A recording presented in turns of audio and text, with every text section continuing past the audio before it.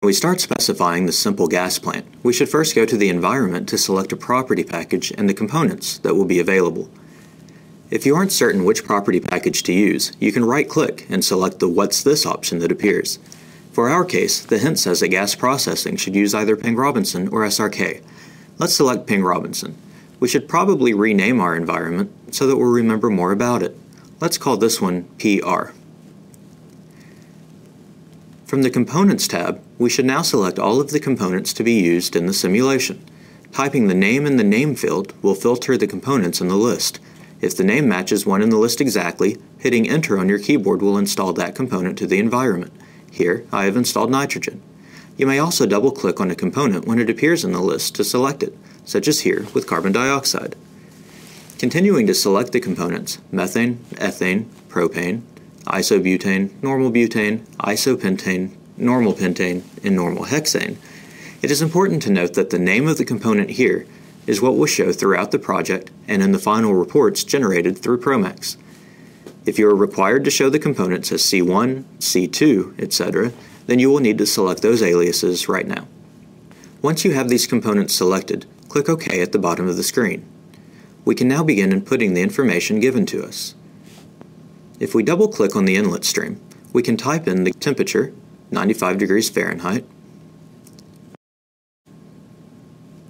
then the pressure, 200 psia, and the flow rate of 5 million standard cubic feet per day. You can see that additional options are being grayed out as we set conditions for the stream. The composition is set in the next tab, and you must either double click in the grid here or select the Specify button to input the composition. We can now type in the given values for the composition.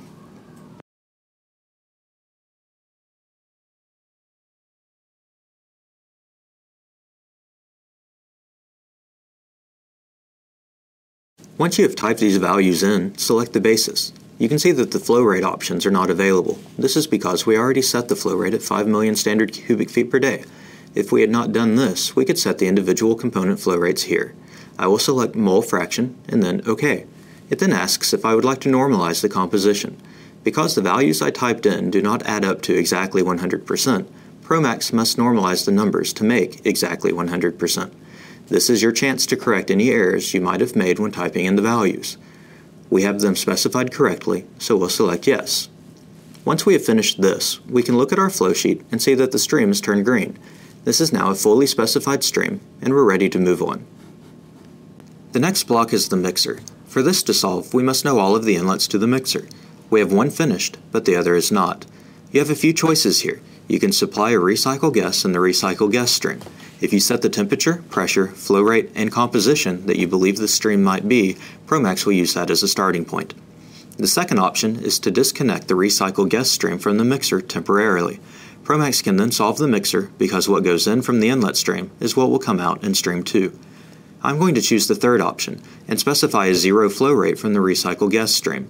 Promax is smart enough to know that if there is no flow, it doesn't need to know the pressure, temperature, or composition.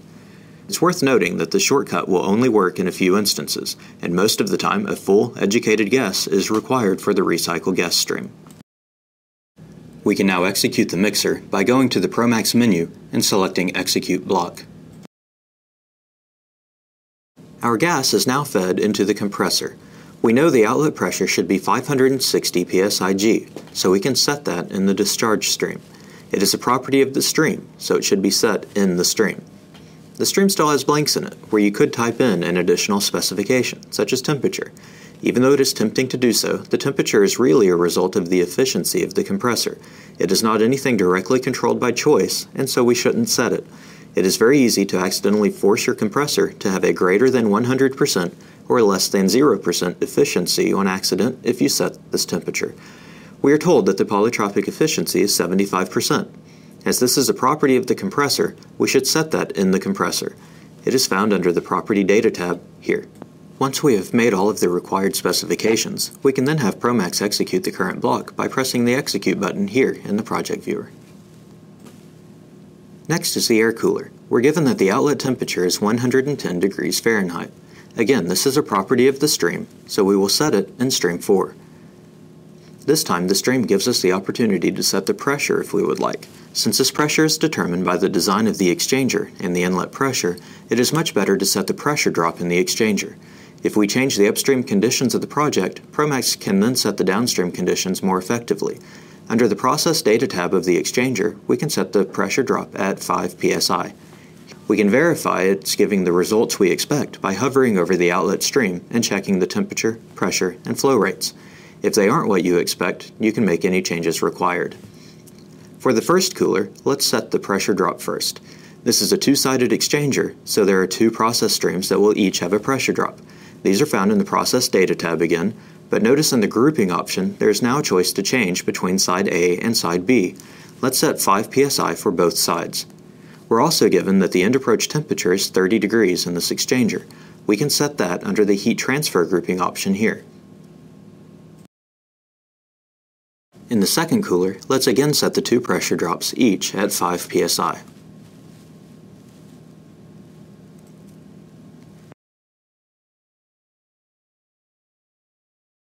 We are also told that stream 6 is at 36 degrees. Another exchanger is next, this one with one side, and so one pressure drop. I'll use 5 psi yet again. Also, we're told that the outlet temperature is 20 degrees. This specification is to be set in the downstream process stream, so I can select the down arrow to go downstream. The low temperature separator is in the process to separate the gas from the liquid formed at this temperature. We will assume the separation is at the current conditions, so we should double click on the separator, go to the Process Data tab, and set a pressure drop of zero. Promax does not automatically set a zero pressure drop for you, since it is most often not right. We are also given an outlet pressure from the JT valve of 200 psig, which is a property of the outlet stream, not of the JT valve, so it is set in the stream. You can select multiple blocks by clicking and dragging a selection box around them, and select Execute Block to have Promax only solve those blocks, if possible. When we double-click on the tower, we are brought to a dialog that we must set some information for before we can move on. At a minimum, we must tell Promax the number of stages in the tower. This should be 8 for this case. You can also choose from this screen whether you would like additional stages to show on the flowsheet, if you would prefer the column to be numbered from the bottom to top, and what type of column it is. We will leave everything at its default with 8 stages. Once it creates the tower, we can specify some more information for it or modify the current settings for it. Under the Connections tab is the option to add or remove stages. If you right-click on a stage, you can add additional stages. I can add two stages like this if I wish. Afterwards, I can remove stages by right-clicking on the stage I wish to remove and selecting Delete Stage. I can also hold down the Control button and select multiple stages to delete. The location you select determines which stages are deleted or where the stages are added. This will matter if your column has any side draws or pump arounds, but does not in this case. The Process Data tab gives control over the type of tower we are modeling. We will use an equilibrium vapor liquid tower. Verify that the reboiler is associated with the column here. If not, select the exchanger being used as the reboiler from the list. The Stage Data tab then allows you to set the column's pressure profile. This must be set for all columns or it cannot solve. I will simply set the pressure change here at 5 psi. It will look for the feed stream pressures and adjust the column pressure accordingly. If I change this to show PSIG, I can see that the feed on stage 1 is exactly 195 PSIG. This screen also gives the option to show any stages on the flow sheet by checking any of these boxes. The specification for the column can be set in the next tab. Promax has created one titled Boil-Up Ratio 1. This is analogous to a reflux ratio for a condenser that calculates the amount of vapor boiled back up into the column compared to the amount of fluid exiting the reboiler. This is a natural variable for Promax, as it is easily bound between all of the flow and none of the flow. Promax will then use this to find any other specifications you make behind the scenes. For this case, we'll create a new specification to meet the 0.1 ethane to propane ratio in the bottom's liquid we're asked for. First, select Add here. The type of specification will be a component ratio, and we can give this a name, such as C2 to C3 ratio. The dialog that appears is set up as the numerator here on the left and the denominator here on the right for the ratio. Select the stage reboiler and the light liquid phase for one side, and Promax assumes we want the same for the other side. We can change the second side afterwards if we need to. Choose standard liquid volumetric fractions from the list here. Next, choose ethane for the numerator and propane for the denominator. Type in the target value of 0.1 and leave the tolerance blank. Promax has very good tolerance values built in, so it is our advice to never type a value here. Select Active and then OK. You can now see that the degrees of freedom is zero. Select Execute and the column should solve to your defined specification. Closing back to the flowsheet, we can now double click on the Recycle block and go to the Process Data tab.